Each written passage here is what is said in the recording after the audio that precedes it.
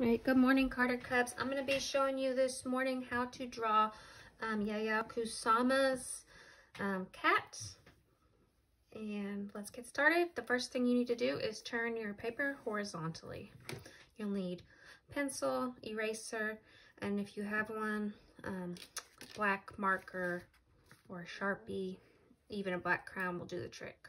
So the first thing you want to do is draw the cat's eye. Um, you want to draw the eye up in the top left corner. So you know it's your left because your fingers make an L. So you want to leave some space above the eye for the cat's ear, okay? So you want to do a rainbow line and a rainbow line, upside down rainbow line, and then two little slits, two vertical lines going up and down, and then you can fill this in with your pencil tip or you can do it later with your crowns or markers. Okay. And then in front of the eye, you want to add a pointy nose. It looks like a sideways V. Okay. After that, you're going to add a pointy ear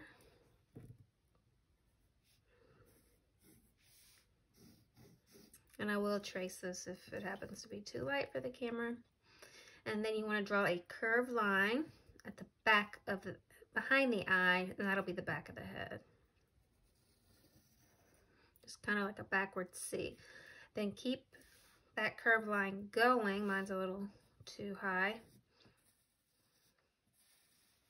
Keep that curved line going so you can draw the bottom of the cat's mouth and you'll do a diagonal line right there. So need to erase that like this.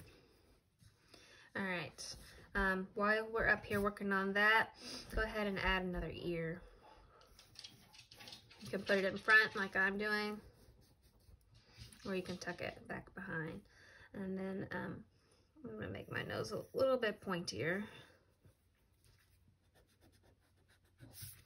I'm gonna go ahead and draw that nose right there. Just a curved line on the edge and then fill it in with my pencil tip. I'll color that later. And then add some whiskers. You could put the whiskers closer to the nose if you wanted. So next I'm going to do is add a large hump for the back. Okay. I'm going to throw a tail on there. Nice windy tail for the cat.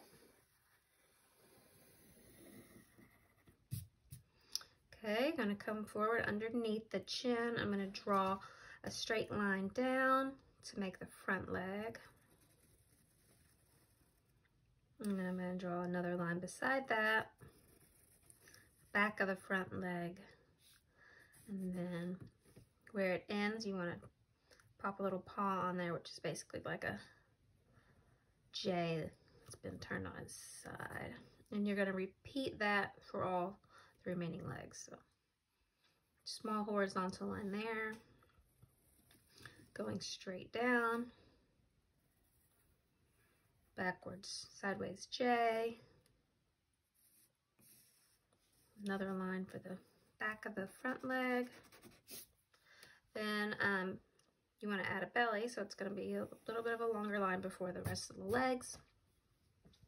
Keep going.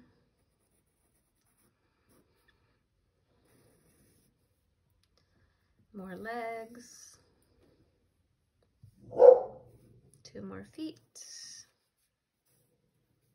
Notice how I'm filling up the whole paper. That's important. You want to fill the space. You don't want to have uh, teeny little cat. That's hard to color. Um, so you could start working on a background if you wanted. I'm just to do a what's called a horizon line behind the cat. That's where the sky and the ground touch each other. You could draw something down here, maybe like a little cat food bowl or a little dish of water for your cat. Um, I'm to draw some claws, just a couple lines on the front of the foot. And then um, the next step is going to be to add the polka dots. So Um, Kusama, as you know from our story, was um, is famous for her art, which always has polka dots on it. She does polka dot pumpkins, polka dot everything. Before I add my polka dots, I'm going to outline. So if you have something black, do the same.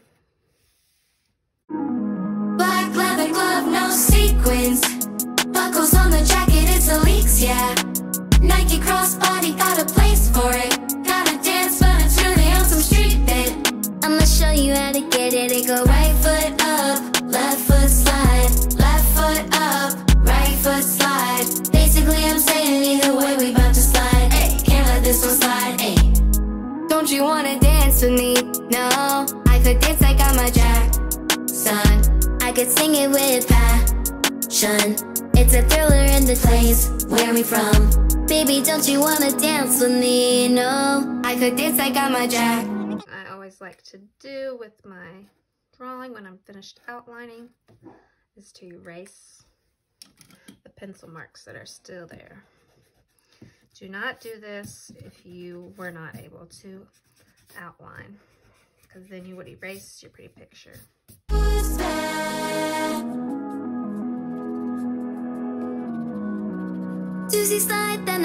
So once you've done that step, you're going to start working on the spots, um, which are just circles. There's several ways you could do this. Um, one thought was um, like those yard sale stickers that are shaped like a circle and multicolored. You could uh, stick those on there. You can draw the spots with markers or crowns, or you could cut out pieces of construction paper in circles and glue them onto the cat's body. So uh, I'm going to do markers. All right, so I have all these fun colors.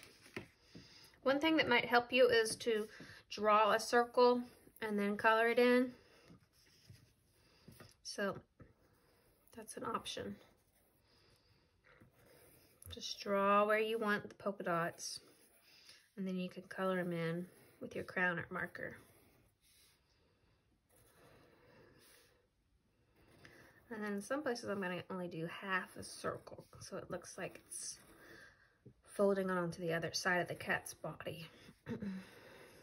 Don't you wanna dance with me? No, I could dance I'm a Jack Jackson. I could sing to show you how to get it. It go right foot up, left foot slide, left foot up, right foot slide. Basically, I'm saying either way, we about to slide. Who's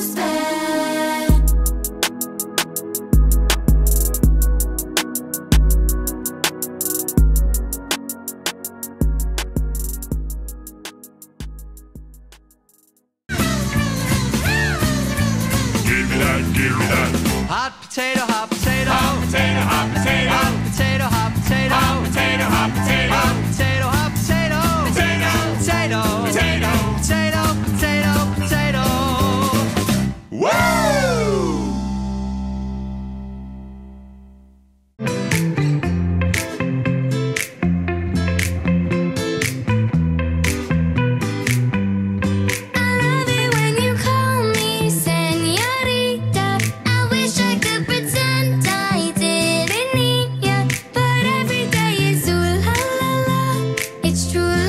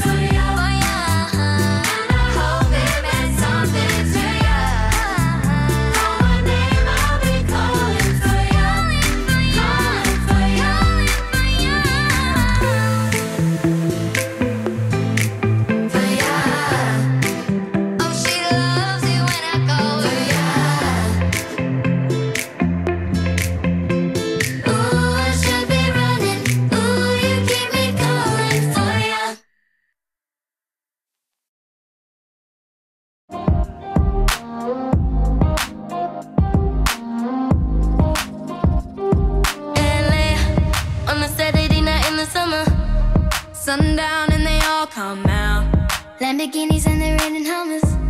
The party's on, so they heading downtown. Everybody's looking for a come up, and they wanna know what you're about. Me in the middle with the one I'm loving. We're just trying to figure everything out. We don't fit in well, cause we are just ourselves. I could use some that we become beautiful people.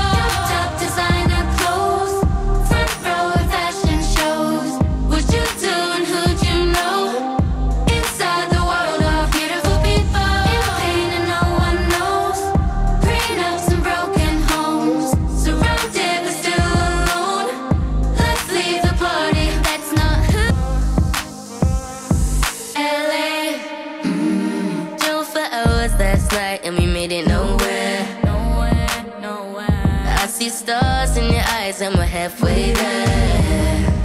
All night. I'm not phased by all the lights and flashing cameras. Uh, Cause with my arms around you, there's no now getting out of this conversation. Yeah, you look stunning. And that is the directions for the Yayoi Kusama polka dotted cat. I hope you guys had fun. I did, and I will see you later. Bye bye.